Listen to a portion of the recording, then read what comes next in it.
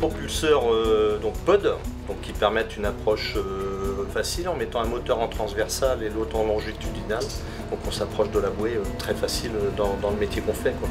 On a un gain de manœuvrabilité par rapport à ce qu'on avait à l'époque, donc une ligne d'arbre. Aujourd'hui, on est très rapidement en mode travail et sur la position précise donnée.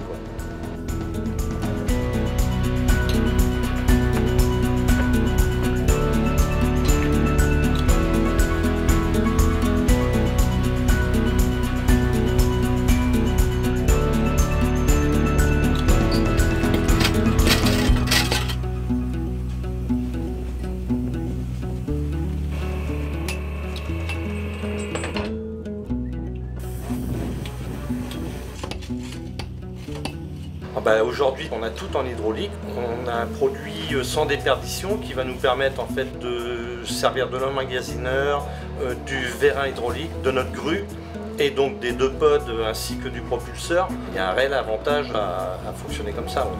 Je pense qu'à l'avenir, tous les bateaux de l'armement phare et balise passeront par le système hydraulique.